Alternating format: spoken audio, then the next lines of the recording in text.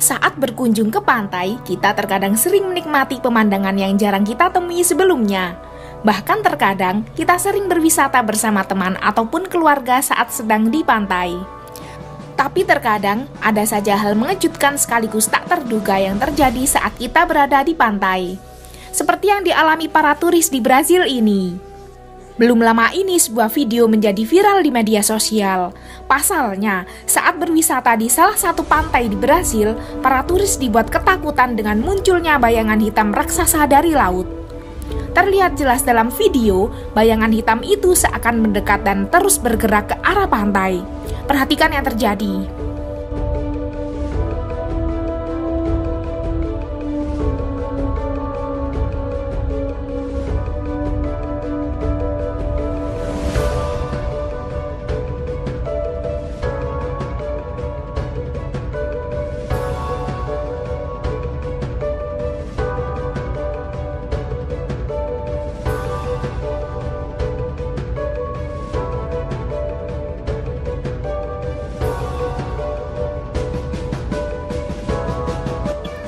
Tak disangka setelah diperhatikan lebih dekat, para turis kaget.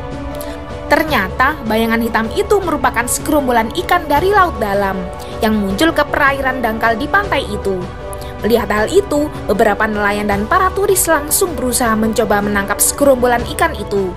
Bahkan terlihat para nelayan dan para pengunjung pantai berhasil menangkap cukup banyak ikan saat kejadian itu terjadi. Setelah video ini menjadi viral, banyak orang yang menyebut mungkin ribuan ikan laut dalam itu sedang dikejar oleh ikan besar yang ingin memangsa mereka. Sehingga ribuan ikan itu berlari menuju perairan yang dangkal. Sungguh beruntung para nelayan yang berhasil menangkap cukup banyak ikan dari fenomena ini. Bagaimana pendapat kalian? Pernah melihat fenomena semacam ini?